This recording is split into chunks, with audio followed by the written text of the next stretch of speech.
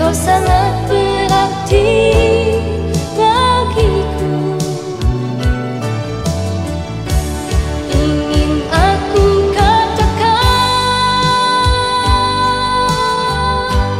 Walaupun kau sangat ku kasih, Namun jangan kau anggap